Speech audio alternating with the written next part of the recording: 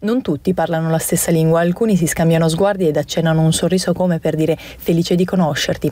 Una piccola delegazione ha scelto di indossare una maglia per spiegare più facilmente la propria provenienza.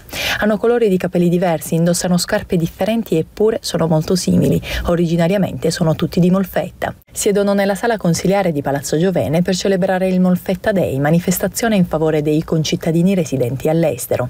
L'idea nasce proprio da loro, dall'associazione Molfettesi nel mondo. 70 anni fa i primi molfettesi che emigrarono e quindi raccoglievano nei propri bagagli questi valigioni enormi e emigravano in altre grandi nazioni e quindi iniziavano lì a lavorare. Quando alcuni sono ritornati hanno deciso di mettere su un'associazione appunto per non dimenticare tutti i sacrifici che avevano fatto. Sono arrivati in Puglia per rivedere la città di origine, per visitarla, vedere quanto e come è cambiata, riscoprire i colori e i profumi della terra da dove sono partiti i loro genitori, ognuno con la propria storia. Ho vissuto 40 anni in Venezuela, dopodiché per la situazione economica, un po' per la politica, per la nostalgia abbiamo deciso, mia madre e io, di rientrare a Moffetta. I genitori di Concita in Venezuela per cercare fortuna, Giacomo in Australia per inseguire la donna che sarebbe diventata la sua compagna di vita, sua moglie. Lei è partita per l'Australia